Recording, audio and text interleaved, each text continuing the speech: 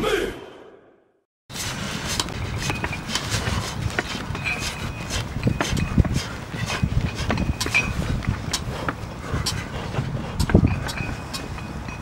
Pierwsza kolejka Teamowej Ekstraklasy tego sezonu. E, Od razu pierwszy gol Łukasza Zwolińskiego. Jaki jest plan na ten mecz? Przede wszystkim wygrać. E, Najlepiej jakbyśmy powtórzyli, powtórzyli jakiś dobry mecz, e, żeby dobrze zacząć. Wiadomo, zaczynamy, zaczynamy kolejną rundę, ale, ale tak naprawdę to jest tylko przedłużenie i, i na pewno będziemy chcieli wygrać, bo mamy jakąś fajną serię, fajną passę i najlepiej, żebyśmy to podtrzymali. Mecz w Bielsku Białej, e, 3-2 wygrane przez nas, ale dosłownie w ostatniej minucie.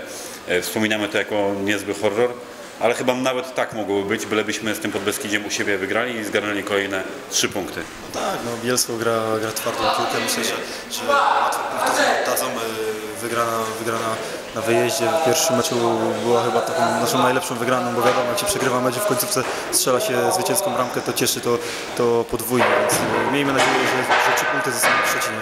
Kibice są 12 zawodnikiem i, i zawsze lepiej się gra, jak czujemy ich wsparcie, a, a nie zawodzą nas. Y, I na pewno teraz nas też, też nie, nie zawiodą i przyjdą na, y, przyjdą na pewno liczną grupą na, na stadion i, i na pewno będziemy chcieli też dla nich wygrać.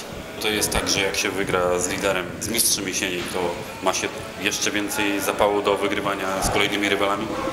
Czy każdego przeciwnika trzeba szanować i do każdego podchodzić y, z takim samym respektem i wiadomo, y, to buduje, motywuje y, zwycięstwo z mistrzem jesieni, ale tak jak powiedziałem, to już było, minęło, teraz się skupiamy na Podbeskidziu i na pewno to nie będzie łatwy mecz i jeżeli nie będziemy walczyć, to, to będzie ciężko i będziemy musieli udowodnić na blisku swoim charakterem bo piłkarsko uważam, że jesteśmy lepsi i jak pokażemy to i to, to na pewno wygramy.